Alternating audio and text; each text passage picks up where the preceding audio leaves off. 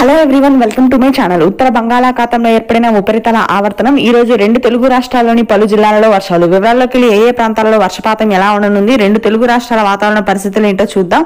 అంతకంటే ముందు మీరు ఇంకా మన ఛానల్ని సబ్స్క్రైబ్ చేయకపోతే చేసి పక్కన బెల్ ఐకాన్ క్లిక్ చేయండి. వివరాల్లో కనుక వెళ్ళినట్లయితే ఈ రోజు సాయంత్రానికి వర్షాలు పడే జిల్లాలు అంటే ఈ రోజు సాయంత్రం లేదా రాత్రికి మాత్రం మధ్యాంధ్రప్రదేశ్ అలాగే రాయలసీమ జిల్లాల్లో వర్షాలు కురుస్తాయని అమరావతి హైదరాబాద్ వాతావరణ శాఖ వెల్లడించింది.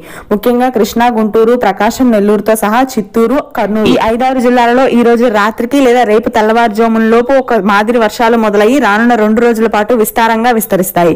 ఇక ఆ తరువాత తెలంగాణకి మరొక తుఫాను ప్రభావం పొంచి ఉంది. మధ్యప్రదేశ్ వద్ద తీరం తాకనున్నటువంటి ఈ తుఫాను ప్రభావం కూడా తెలంగాణ జిల్లాలు అంటే హైదరాబాద్ ఆదిలాబాద్ ఆ తరువాత వరంగల్ కరీంనగర్ సూర్యాపేట నాగర్ కర్నూలు కొత్తగూడెం భద్రాద్రి ఇలా పలు జిల్లాలలో వర్షపాతం మొదలై ఇరవయో తారీఖు వరకు తెలంగాణలో ఈ వర్షాలు ఎడతెరిపి లేకుండా కురుస్తాయి. పలు లోతట్టు ప్రాంతాలని జలమయమయ్యే అవకాశాలు ఉన్నాయని వాతావరణ శాఖ హెచ్చరికలు జారీ చేసింది. ఇది వాతావరణానికి సంబంధించిన లేటెస్ట్ అప్డేట్. రానున్న పది రోజుల్లో మాత్రం తెలుగు రాష్ట్రాల్లోని అన్ని జిల్లాలలో వర్షపాతం మొదలై భారీగా పడుతుంది.